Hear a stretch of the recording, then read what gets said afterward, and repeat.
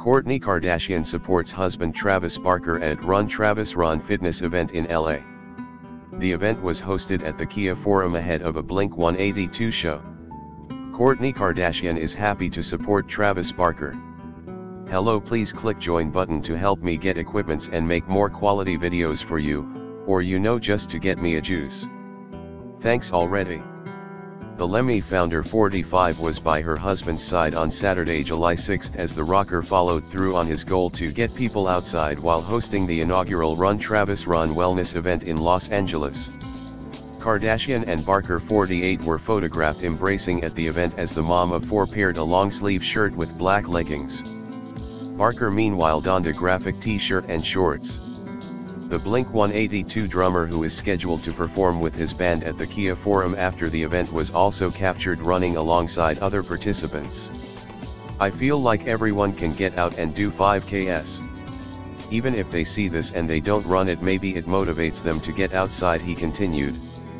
As for his own go-to exercises Barker previously told people he starts every day by walking 30 minutes while I consume some sort of audiobook or podcast.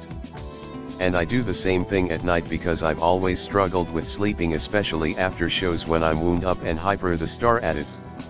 I've just found wellness and working out is so critical for everything that I do. Kardashian for her part previously told people that she and Barker bonded by exercising together before their romance began. We would always work out together and run together or do stuff like that together before we were ever in a relationship we were workout buddies forever she explained. After my accident in 2008 more than 70% of my body was burnt and I was told by doctors that I may never be able to walk or play drums the same again. I was never athletic and I never played sports but I immediately had this urge to prove everyone wrong including myself the musician wrote.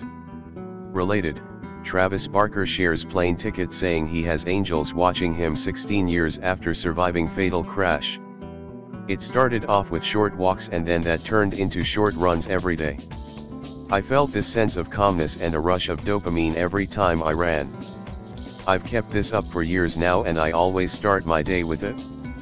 I even run 3 miles every day before my shows when I'm on tour he continued.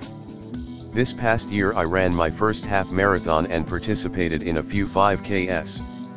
I loved how everyone from all walks of life ran together and supported one another Barker added. The running community is massive and it really inspired me to create Run Travis Run as a way to bring like-minded people together he then concluded. I wanna motivate people to get outside and walk or run for a few hours as well as make healthy decisions and create healthy habits.